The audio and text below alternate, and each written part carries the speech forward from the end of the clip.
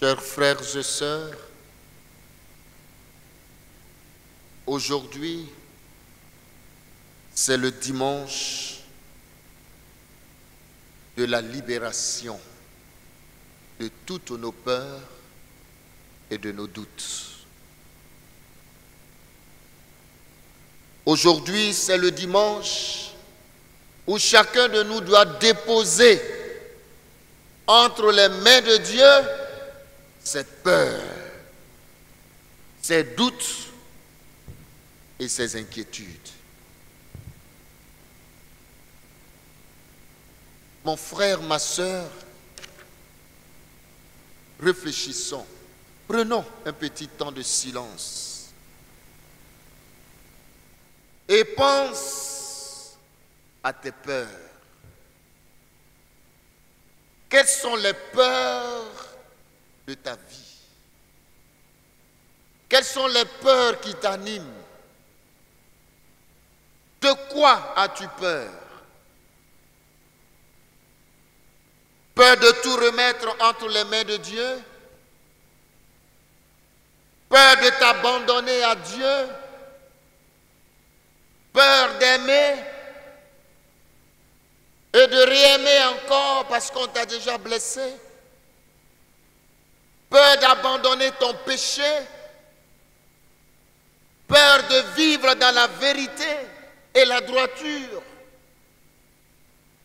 Peur de rebrousser chemin pour emprunter le vrai chemin, le chemin qui mène vers Dieu. As-tu peur de la mort, des sorciers?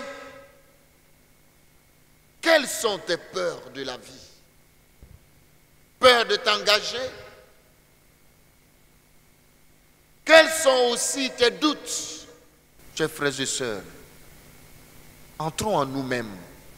Aujourd'hui, ce n'est pas une homélie en tant que telle, mais je voudrais que chacun de nous puisse mettre à nu devant le Seigneur ses peurs, ses doutes, ses inquiétudes, ses interrogations de la vie Quelles sont les tempêtes de ta vie? Est-ce que tu as peur de te débarrasser des choses de ce monde? Quelles sont aussi tes fuites de la vie? Qu'est-ce que tu fuis? Et je voudrais que chacun de nous puisse entrer au plus profond de lui-même. Quelles sont tes peurs? Quelles sont tes hésitations pour emprunter le vrai chemin de la sainteté? La peur d'abandonner son péché, la peur d'affronter la vie, d'affronter la vérité. Et avec vous dans le silence, je voudrais qu'on chante le chant. Ne crains pas, ne crains pas, je t'ai racheté. Ne crains pas, ne crains pas, je suis c'est le Seigneur qui nous dit et qui nous parle au fond de nos cœurs. N'aie pas peur, ne crains pas. Je t'ai racheté. Tu as du prix à mes yeux et je suis avec toi. Oui, chers frères et sœurs, les personnages bibliques que nous présentent les textes de ce dimanche ont, en commun de se trouver face à des difficultés de leur vie, à des interrogations et à des doutes. Commençons par Élie, le grand Élie, qui a défié le Dieu des Baals, 450 dieux, des faux dieux, il les a défiés. Ce grand prophète de feu, Élie, a aussi eu peur. La peur fait partie de notre vie. Oui, ils ont été déroutés car les pensées et les chemins de Dieu les supprennent. Et ces chemins semblent être contraires à leur projet. Ils traversent les nuits de la perte de la confiance et du découragement. Élie aussi, à un moment donné, a eu peur. Élie avait accompli des actions extraordinaires, mais rencontré aussi des vents contraires. Il a fait fuir le roi, il avait fui le roi Akab et sa femme Jézabel, qui en voulait à sa vie. Il s'était retiré au désert, demandant à Dieu de le laisser mourir parce qu'il ne pouvait plus. Il avait peur, ce grand Élie. Et il va dire, prends ma vie, car je ne vaux rien. Et je ne vaux pas plus que mes pères. Alors qu'il s'était réfugié dans une caverne sur la montagne d'Oreb, c'est là que le Seigneur va s'adresser à lui. Chers frères et sœurs, l'ouragan, le tremblement de terre, tout cela, le feu, c'est le signe des inquiétudes, c'est le signe des épreuves, c'est le signe des peurs, c'est le signe que tout homme traverse, découragement. Et voici que le Seigneur va rejoindre là où est Élie. Dans l'ordinaire de nos vies, le Seigneur vient agir. Il vient à notre rencontre pour calmer les différentes tempêtes de nos existences. Confiance. N'ayez pas peur, c'est moi. Voilà la parole que nous devons retenir et qui doit transformer nos peurs. C'est Jésus qui s'adresse à chacun de nous. Toi qui as peur, toi qui doutes, comme Pierre, le Seigneur te dit cette parole et cela doit résonner au plus profond de toi. N'aie pas peur, confiance. J'ai vaincu le monde. Confiance, c'est moi. N'ayez pas peur. Ces mots, chacun peut les entendre à chaque traversée difficile de sa vie. À chaque moment de panique et de frayeur devant toutes les morts à affronter devant toutes les rives inconnues, au cœur de toutes les nuits interminables de nos épreuves, le Seigneur nous parle au plus profond de nous. Confiance, n'aie pas peur. Remercions Saint Pierre, une fois encore pour sa confiance un peu naïve, pour ses doutes et ses peurs. Il n'a pas tenu longtemps à marcher sur les eaux pour aller vers Jésus. La panique a été la plus forte. Mais son courage et sa peur nous encouragent. Son cri au moment de s'enfoncer est un cri d'espoir. Seigneur, sauve-moi. Et la main de Jésus que le saisit le réconforte. Le Seigneur aussi nous sauve chaque fois que nous crions vers lui. Voilà le vrai message aujourd'hui. J'avoue en toute sincérité que nous ne croyons pas beaucoup. Nos foi sont superficielles. Oui, chers frères et sœurs, dans notre monde de turbulences extrêmes, le Christ est au cœur, est au cœur de nos tempêtes il est source de la paix. La foi, la confiance est un combat contre le doute et contre la peur. Pierre, qui a été choisi pour accompagner, pour conduire le peuple de Dieu, lui aussi a eu peur. Chers frères et sœurs, à certains moments de la vie, notre horizon s'assombrit à certains moments de notre vie, nous aussi, nous traversons des nuits de découragement à cause des échecs, à cause des maladies, des deuils, des problèmes familiaux, des difficultés de toutes sortes. Dans la nuit, nous sommes sur une barque battue par les vagues selon les rafales métrières des vents contraires. Et le Christ au cœur, au cœur de nos épreuves, au cœur de nos échecs, toutes sortes d'échecs, au cœur de nos difficultés, de nos peurs, de nos doutes, le Christ se répète dans le creux de notre cœur. N'ayez pas peur, c'est moi. Voici que je suis avec vous jusqu'à la fin des temps. J'avoue que ces paroles sont des paroles quelquefois superficielles, des paroles qui ne nous touchent pas. Et pourtant, le Seigneur est triste. Laissez-moi vous dire, Dieu est triste quand il nous voit vivre comme des incroyants. N'ayez pas peur, c'est moi. Jésus-Christ, c'est l'argent, c'est l'or. Il a tout. L'or et l'argent lui appartiennent. Donnez-lui votre cœur. Confiez-vous à lui. N'ayez pas peur. Mettez en lui votre confiance. Déchargez sur lui vos peurs, vos inquiétudes, vos doutes. N'ayez jamais peur. Il a vaincu le monde. Il marche sur l'eau, symbole de toutes les puissances du monde. C'est le symbole du diable. Et Jésus l'a vaincu. Confiance. Que votre cœur ne se trouble jamais parce que je suis là. Je suis Dieu.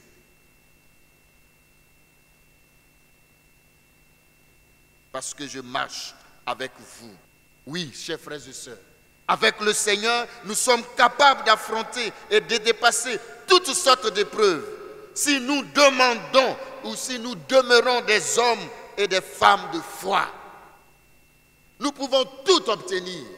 La foi, c'est de garder, fixer les yeux sur le Seigneur, de l'écouter et d'avoir confiance en lui. C'est cela la foi. Que tu sois dans la joie et que tu sois dans la peine, dans les moments d'incertitude, n'aie jamais peur, confiance. C'est marcher la foi, c'est marcher avec assurance, et sans crainte sur les forces du mal. C'est de crier vers lui avec confiance, de saisir sa main qui nous tend et de le reconnaître comme fils de Dieu. C'est cela que le Seigneur nous demande aujourd'hui. Chers frères et sœurs, où pouvons-nous puiser cette confiance? Où pouvons-nous puiser cette force de ne pas avoir peur? Je l'ai dit et je le répète. Chaque dimanche, nous nous rassemblons pour expérimenter cette présence du Christ, cette parole du Christ, cette présence du Christ dans nos vies. Et je le répète encore, le Seigneur le dit lui-même à ses apôtres et à chaque célébration eucharistique. Courage, c'est moi, n'aie pas peur. Avec ma présence en toi, chers frères et sœurs, l'évangile nous montre que le Christ qui marche sur les eaux, il marche sur la mer. La mer déchaînée est le symbole de toutes les puissances du mal. Jésus qui marche sur les eaux nous montre que ce mal n'a pas de prise sur nous. Et dans l'Eucharistie, sa présence nous permet de vivre et d'être debout. Avant même que l'on l'appelle, il s'avance vers les siens. Il dit, c'est lui qui prend l'initiative. Il vient vers. Son empressement à sauver ceux qu'il aime mérite d'être souligné aujourd'hui. Il est Emmanuel, Dieu avec nous. Il nous assure de sa présence tous les jours jusqu'à la fin du monde. Et cette présence, c'est dans l'Eucharistie d'abord. Ce que nous célébrons, la présence de Dieu est importante. Quand on communie au corps et au sang du Christ, on n'a plus peur. Le plus important, c'est que le Christ vient en nous, même si nous n'implorons pas forcément sa venue à la messe, il est présent. Quand la tempête fait ravage, il se fait proche. Il reste présent, même quand nous nous éloignons ou quand nous l'oublions. Dieu, il est toujours présent. Alors, chers frères et sœurs, il nous faut aujourd'hui, au cours de cette Eucharistie et toute la semaine, répéter Seigneur, sauve-moi. Tout au long de cette semaine, Laissez la parole de Jésus résonner au plus profond de vous, dans votre fort intérieur, dans, au cœur de votre vie, au cœur de vos peurs. Cette parole de Jésus, confiance n'est pas peur. tout au long de notre vie. Ne nous laissons pas distraire par qui que ce soit ou par quel événement, par quelle que soit l'épreuve. Quelle que soit l'épreuve, laisse la parole de Jésus te dire, confiance mon enfant, confiance ma fille, n'aie pas peur. Nous avons trop peur. Aujourd'hui, c'est fini. Fini les peurs, fini les découragements. Jésus a vaincu tout cela. Oui, en lisant cet évangile, comment ne pas penser à la Vierge Marie? Comment ne pas penser à la Vierge Marie? Elle a connu des tempêtes de sa vie, celles que nous venons prier dans ce sanctuaire. Marie aussi a connu les mêmes tempêtes. Dès le début, elle a dû fuir en Égypte pour protéger son enfant. Elle a beaucoup souffert de l'incompréhension de son peuple qui refusait le message de son fils. Dans son propre village, on ne reconnaissait même pas que son fils était Jésus et Marie en a souffert. Elle a suivi son fils jusqu'au pied de la croix. Elle a vu combien de fois son fils a été maltraité. Elle est passée, elle aussi, par des épreuves. Aujourd'hui, elle est toujours là pour nous renvoyer au Christ comme à Cana. Elle nous invite à faire tout ce qu'il nous dira. C'est pourquoi il nous faut aussi nous tourner vers la Vierge Marie pour lui dire Marie, aide-moi à avoir confiance comme toi. Au cœur de tes épreuves, tu es resté fidèle jusqu'au bout. Mais c'est maintenant que chacun de nous doit s'adresser à la Vierge Marie. Marie, nous avons peur de l'avenir de notre pays. Nous avons peur de ce qui va se passer. Et nous sommes tous dans l'inquiétude, tout simplement à cause de l'orgueil des hommes, de la méchanceté des hommes.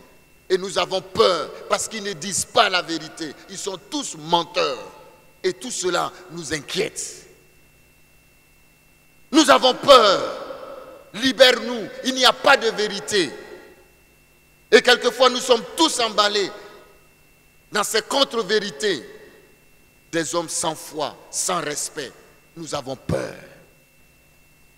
Alors, tournons-nous vers Marie. Et demandons avec Marie, disons, Seigneur, sauve-nous. Sauve-nous. Ne jugeons pas. Ne prions pas contre qui que ce soit. Mais disons seulement, Seigneur, sauve-nous. Ce n'est pas à nous de montrer au Seigneur ce qu'il doit faire. Ce n'est pas à nous d'indiquer au Seigneur, voilà ce que nous voulons que tu fasses pour l'autre. Non. Dites seulement, Seigneur, sauve-nous. Et ayons confiance. Oui, le Christ est toujours là pour nous tendre la main, pour tendre la main à celui ou à celle qui l'implore avec confiance. Si nous l'implorons avec confiance, et si nous disons, Seigneur, sauve-nous avec confiance, si nous lui confions nos peurs, nos inquiétudes, l'avenir de notre pays avec beaucoup de confiance, Dieu nous sauvera. Confiance, n'ayons pas peur. L'heure a sonné, non pas de penser vengeance, mais de dire Seigneur, sauve-nous. Moi j'ai confiance, parce que ce pays appartient à la Vierge, et ce pays appartient à Jésus. C'est Dieu qui dirige l'histoire d'un pays. Je mets ma confiance et je suis convaincu que Dieu ne nous abandonnera pas. C'est ça qu'on nous demande.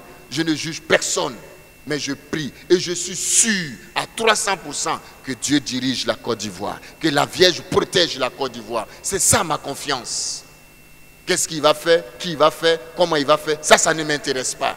Ce qui m'intéresse, Seigneur, que la volonté, ta volonté se fasse. Oui, ça j'y crois. Alors nous aussi, mettons-nous à la suite de Pierre qui a crié et avec les apôtres, sauve-nous. Alors tout au long de cette semaine, chers frères et sœurs, en plus de répéter du plus profond de notre cœur, Seigneur, sauve-nous, en plus de laisser la parole de Jésus, confiance, n'aie pas peur, animer toute notre vie, tout au long de cette semaine, que notre prière soit unique. Sauve-nous. Et que notre confiance soit unique entendre cette parole de Jésus. Confiance, n'ayez pas peur. Que cela nous anime tout au long de cette semaine. Peur de notre vie personnelle, mais aussi peur de l'avenir de notre pays. Non, parce que Dieu est au contrôle. Et enfin, la deuxième, c'est que nous devons, tout au long de cette semaine, nous mettre devant Jésus, devant le tabernacle, dans nos chapelles d'adoration, pour avoir ce cœur à cœur avec Dieu. C'est dans la brise légère, dans le silence que Dieu a parlé à Élie. Et c'est dans le silence qu'il nous parle. Ceux qui ne peuvent pas, prenez vos chapelets, vos rosaires. Dans le silence, prions. Et laissons Dieu parler à notre cœur. Chers frères et sœurs, c'est le dimanche où toutes nos peurs doivent disparaître. Alors au cours de cette Eucharistie, laissons cette parole de Jésus nous habiter. Courage, c'est moi. N'ayez pas peur. Amen.